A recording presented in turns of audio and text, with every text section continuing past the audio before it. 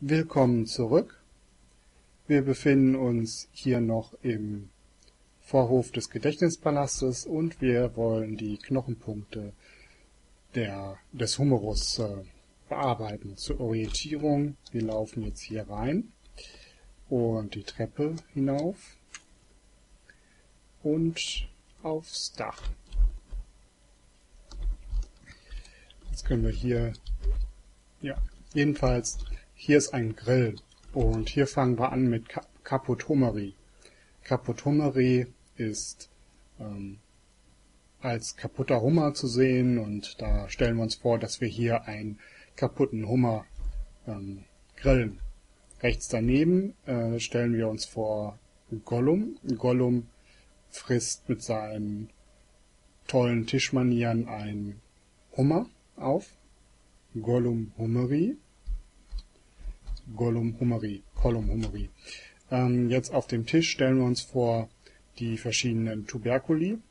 Tuberculum minus, Tuberculum majus, Tuberculum intermedium, Tuberculum majus mit Pars cranialis und Pars caudalis. Das ist jetzt, klingt jetzt etwas viel, aber normalerweise macht das kein, keine Probleme, wenn man ungefähr verstanden hat, worum es geht. Sulcus intertubercularis stellen wir uns hier zweimal ein Instrument namens Tuba vor. Tuba links, Tuba rechts, Sulcus intertubercularis. Hier ist ein Treppenhaus. Hier stelle ich mir vor die Facies musculi infraspinati und dazu stelle ich mir die FAZ vor, also eine Zeitung, die hier äh, angeschlagen wird und diese Zeitung ähm, hat ein Bild von einem Bodybuilder und der Bodybuilder zeigt seine Muskeln und die Überschrift lautet, dass Infrarotlicht die, den Muskelaufbau fördert. Musculi infraspinati.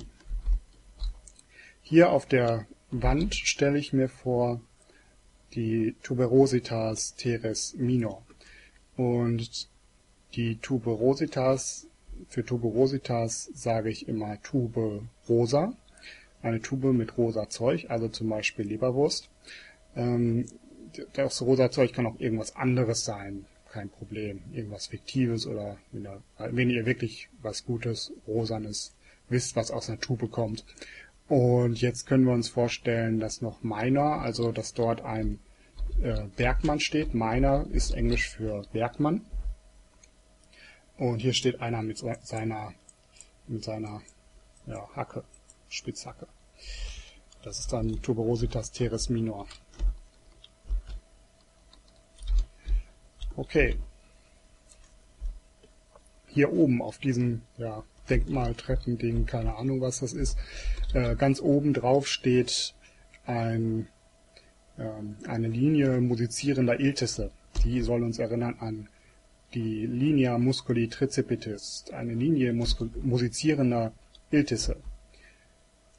Und jetzt stellen wir uns, müssen wir Christa Hummeri verbildlichen. Christa Hummeri, ich stelle mir vor, ein Hummer, der sich als Guru verkleidet hat und ähm, jetzt singt er dort ähm, Krishna Hummeri, Krishna Hummeri, so wie Christa Hummeri eben. Und hier kommt jetzt Tuberositas deltoidea.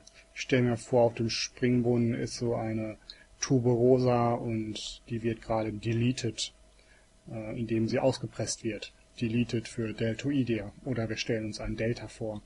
Ein Delta in Form eines äh, Buchstaben oder eines Delta-Gleiters oder irgendwie sowas. Hier auf dem Rand sitzt ein Sumo-Ringer. Sumo-Ringer für, Sumo, für Sulcus musculi, äh, Sulcus musculi brachialis.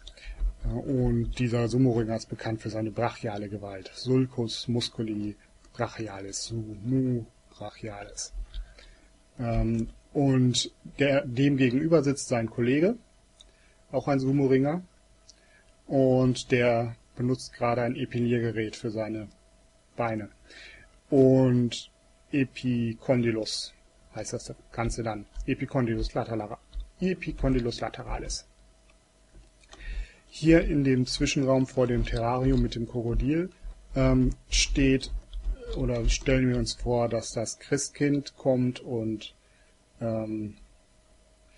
das Christkind kommt und schenkt Superman vielleicht ist Superman noch ein kleiner Junge und dem schenkt er einen Kondylus oder eine Walze oder ähm, eine Gondel, eine Spielzeuggondel.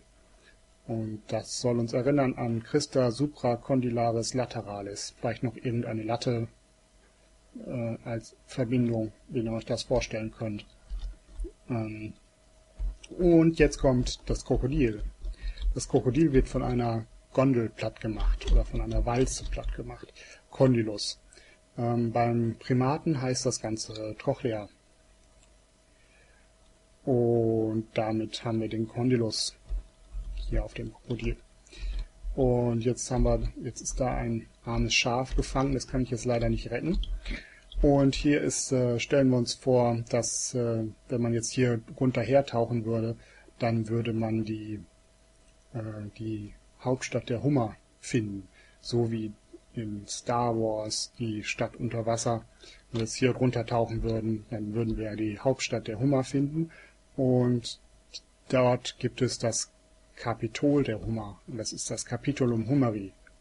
Capitulum Hummeri beim Menschen. Ähm, ja. Jetzt kommen wir hier zu einer Fossa und das Fass ist mit Rädern gefüllt, Fossa radialis. Äh, wir müssen uns die Räder besonders gut vorstellen, weil wir gleich noch ein anderes Fass bekommen.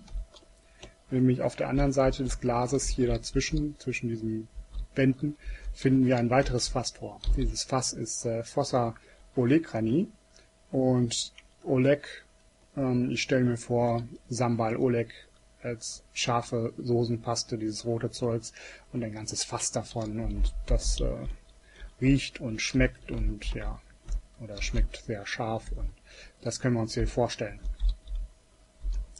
Foramen supracondylare, äh, nee, Foramen supratrochleare kommt jetzt. Äh, Foramen supratrochleare kommt hier und das ist jetzt schwierig wegen weil wir eben ein Problem haben später mit Foramen supracondylare, also müssen wir das gut trennen. Foramen supratrochleare ist ähm, Formen, Dr. Formen für Foramen, ähm, Supertrochleare, Superman und die beiden streiten sich, Formen, Dr. Formen von Dr. House und ähm, Superman, ja, von Superman, äh, streiten sich jetzt hier um einen Rochen, Foramen Supertrochleare. Und als nächstes nehme ich hier eine Fass, äh, wieder ein Fass und Fossa coronoidea beim Menschen. Und coronoidea, Coro, Corona ist eine Krone. Also entweder wir stellen uns die Corona einer Sonne vor oder eine richtige Krone. Auf jeden Fall ein Fass mit einer Krone drin oder Fass mit mehreren Kronen drin. Fossa coronoidea. Hier im Gemüsebeet, im Blumenbeet, ähm, stelle ich mir vor Foramen supracondylare bei der Katze. Hier stellen wir uns vor eine Dampfwalze, die die Blumen platt macht und am besten macht sie auch den Superman platt, nämlich supracondylare. Ähm, und dann sitzt im Cockpit äh, Dr. Foreman und der streitet sich mit einer Katze. Also die Katze ist ähm, versucht, also die Katze kämpft gegen Dr. Foreman irgendwie und deshalb passt er nicht auf und dann macht er den, macht er die Katze platt oder der, deshalb macht er den Superman platt mit seiner Dampfwalze. Foramen supracondylare Katze. Und da haben wir jetzt noch die lateralen Bandhöcker und Bandgrube und ähm, ja, wenn man das braucht oder wenn man sich merken will, lateraler Bandhöcker, eine Latte mit einem Band rum und Bandhöcker, Höckerhäufchen oder eine Grube, die hier ausgehoben wird. Lateraler Bandhöcker und Bandgrube. Okay, das war's zum Thema Humerus. Und ich hoffe, euch hat es gefallen und euch bringt es was. Und falls ihr das Ganze nützlich fandet, wäre es nett, wenn ihr mich abonnieren könntet und wenn ihr diese Videos äh, als Link verbreiten könntet bei Google bei Facebook, bei Foren und so weiter. Also bis zum nächsten Mal.